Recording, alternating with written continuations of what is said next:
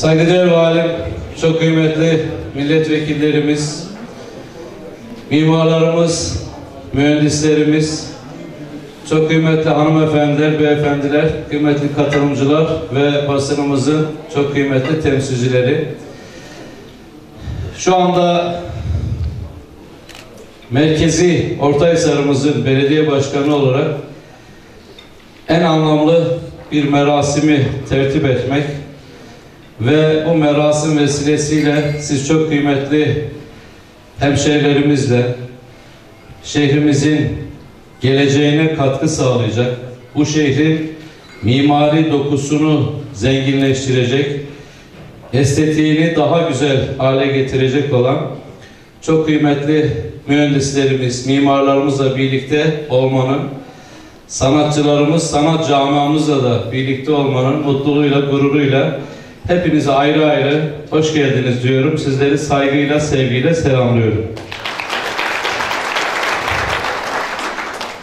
Tabii Sayın Valim malumunuz Sayın Kaymakamımızla da birlikte Ortaysar'ımıza yerelde mülki idare adına ve yerel idare adına hemşehrilerimize hizmetle mükellef olarak vazifemizi icra ederken bir taraftan da geleceğimize geçmişten devraldığımız mirasın tarihi sorumluluğuyla birlikte geleceğimizi de bu şehri devredeceğimiz neslimize gelecek şehrimizi de daha güzel, daha yaşanılır, yaşanılabilir, daha estetik mimarisiyle güzel bir şehir devretme sorumluluğundan hareketle özellikle büyükşehir yapılanmasından sonra malumunuz şehrimizde daha evvelki 7 belediyemizin merkezdeki belediyemize entegre olmasıyla birlikte imar konularında özellikle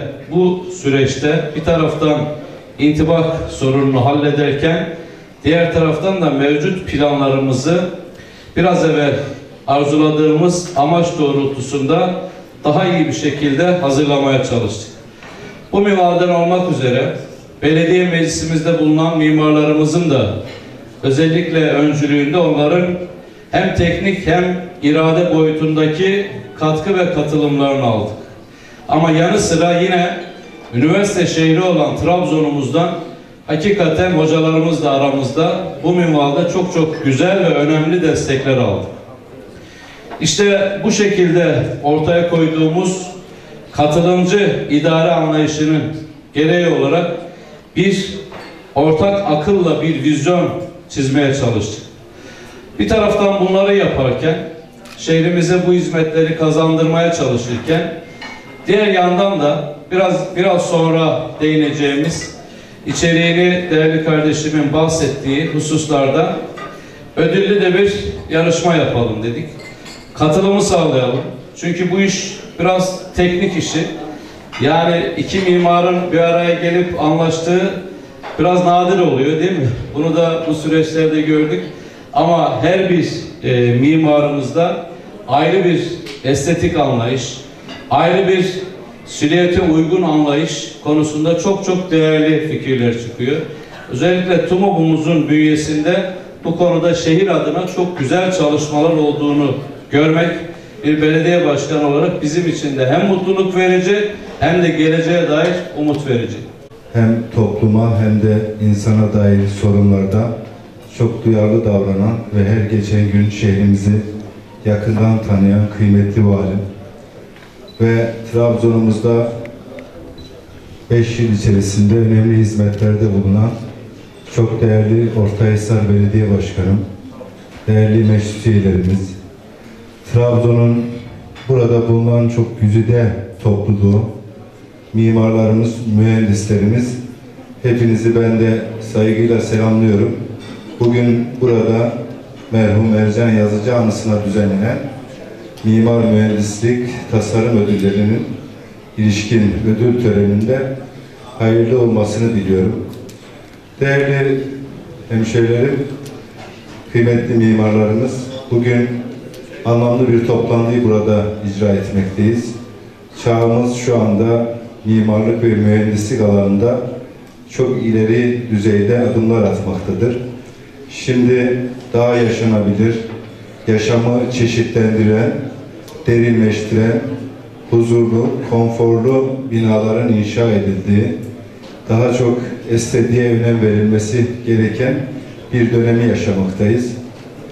İbn Haldun'un ifadesiyle coğrafya bir kaderdir. Ancak imar planları, mimari düzenlemeler kaderimiz değildir. Bu tamamen bilgi, birikim, liyakat meselesidir.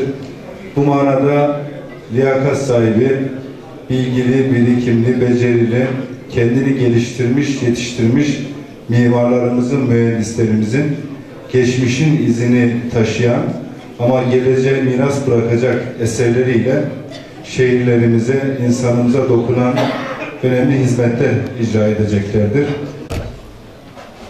Ortahisar Belediye'mizin bu şehirle alakalı, bu şehrin geleceğiyle alakalı, bu şehre ciddi vizyon kazandıracağına inandığımız böyle bir proje tasarımı ile ilgili, projeyle ilgili, şehirimize kazandırılacak projeyle ilgili yapmış olduğu bir yarışmanın biraz sonra sonuçlarını değerlendirmek üzere bir araya geldik. Çok kıymetli Hazirun, ben bir şehri tabiri caizse 3G ile tarif etmeye çalışıyorum. Bu 3G görüntü, gürültü, güvenlik. Kısacası. İşte burada görüntü diye tabir ettiğimiz şehrimize en önemli dokunuş ve sihirli eller işte mimarlarımız oluyor. Şehirlere kimlik kazandırmak, şehirlere kişilik kazandırmak, adeta şehirlere ruh vermek, işte biraz sonra değerlendireceğimiz, yapmış olduğu çalışmaları değerlendireceğimiz mimarlarımız sayesinde, şehir plancılarımız sayesinde oluyor. Şehirlerin ruhu vardır diyoruz. Evet, şehirlerin ruhu vardır.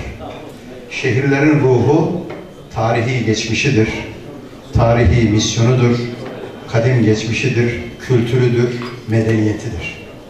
İşte bu tarihini, kültürünü ve medeniyetini şehrin mimarisine yansıtmak, şehrin geleceğine yansıtmak bizim mimarlarımızın, mühendislerimizin, plancılarımızın elinde.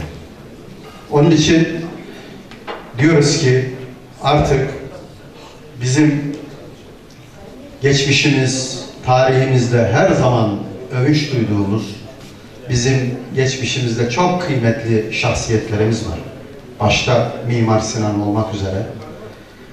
Tarihimizde gururla andığımız, göğsümüzü kabarttığımız, bugün dünya mimarisinde çok kıymetli eserler bırakmış bizim geriye dönük tarihçilerimiz, mimarlarımız var. Niye artık bizim yeni Mimar Sinanlarımız olmasın? Artık bizim şehirlerimizde ben bir şeyin daha altını çizmek istiyorum. Şehirler birer canlı organizma gibidir.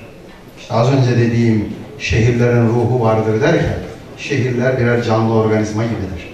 Yani bu şehirlerin biz tarihine dokunursak, geçmişine dokunursak, o dönüşümü ve değişimi biz gelecek kuşaklara güzel bir miras olarak aktarırsak yapacağımız en güzel hizmetlerin başında bunlar olsa gerek. İşte buradan sonra bu şehrin kimliğine, bu şehrin tarihine ve geçmişine dokunacak güzel çalışmaların altına ben imza atacağına inanıyorum.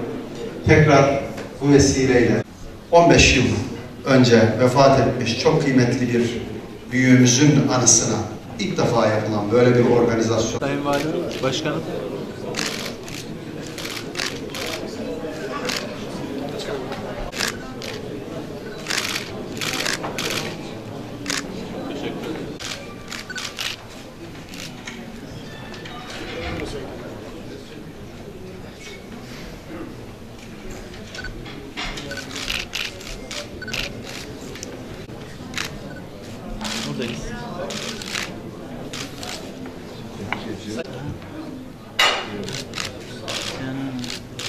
Şemsiyeli sokak çiçeklerle karşı